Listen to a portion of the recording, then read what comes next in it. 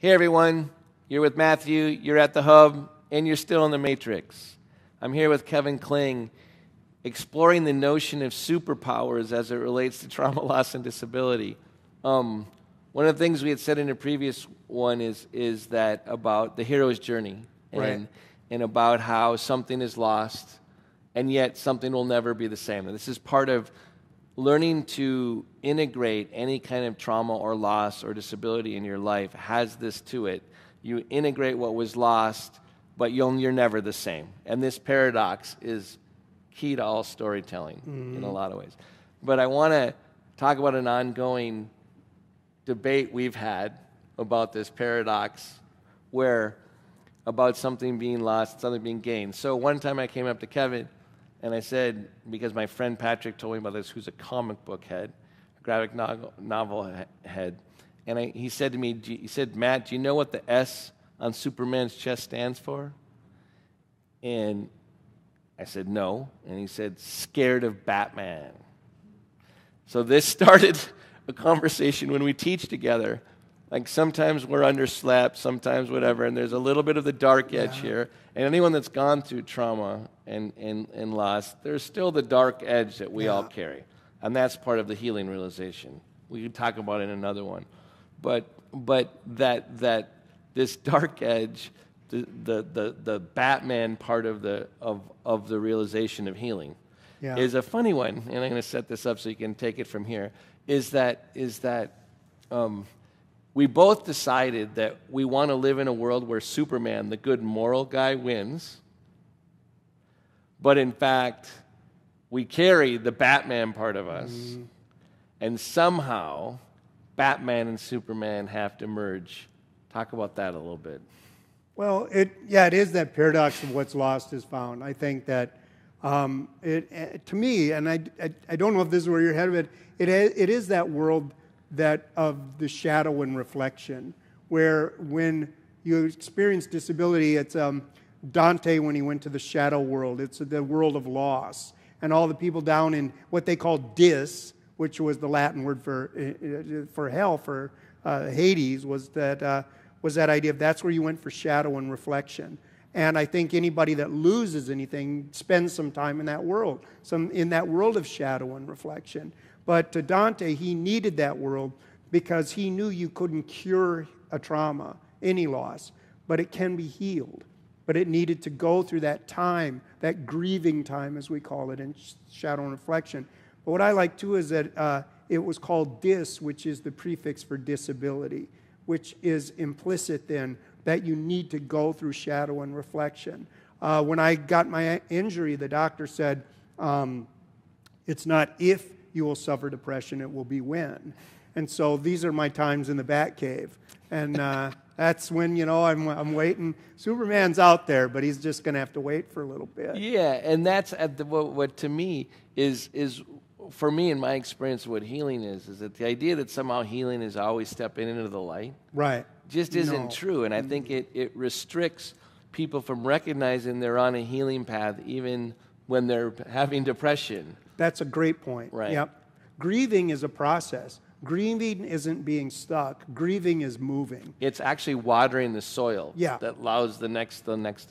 Yeah, a lot of yeah, a lot of people think they're stuck in grief. No, when you're grieving, you're on a path. You're mo- yeah, you're is. moving. You're- it's when you're not grieving that you might be more frozen. Mm-hmm. And and and the thing is about what you don't maybe know in the Superman comics or the Batman comics, the Batman comics, that in the confrontation between Batman and Superman, um, Batman wins. He actually kills Superman, which you kind of think like, how could that be, right?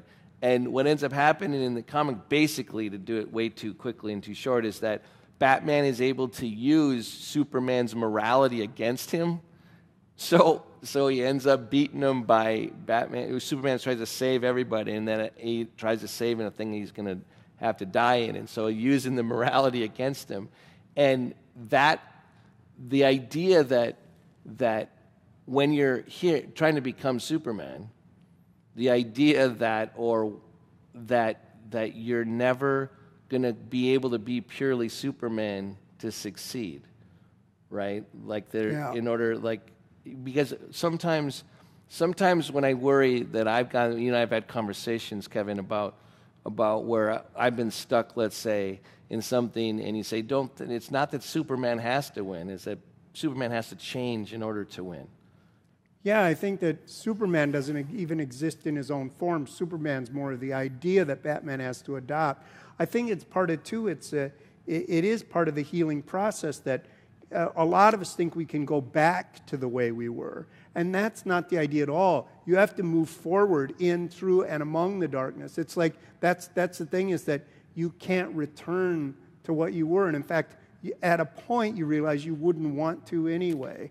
I mean, it's, it's, it's again, it's not the Pollyanna view it's a realistic view when I say I prefer the person I am now than the one I used to be before my accident. Does that mean I don't want my arm anymore? No. God, I would do, love to have my arm back, but I wouldn't want the person I was as much as the person I became.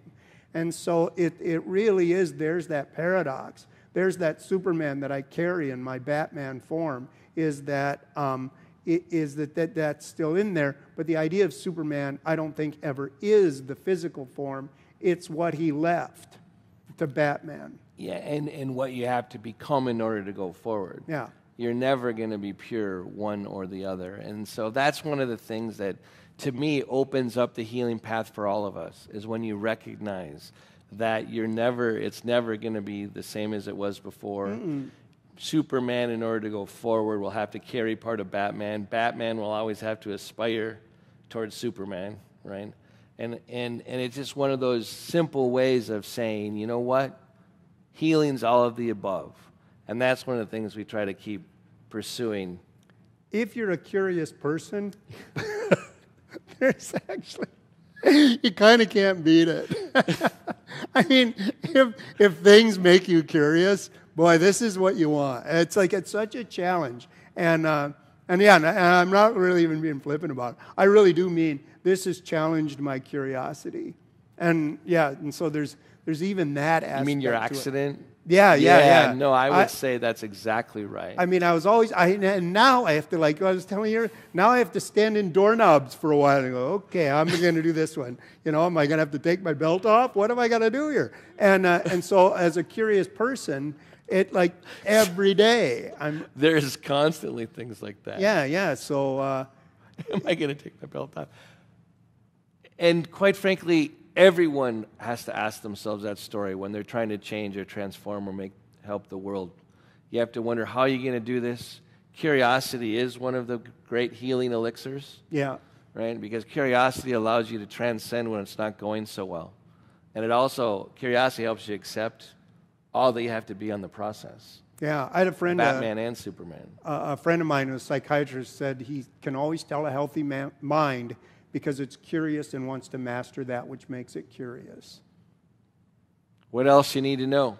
That's it from the Matrix.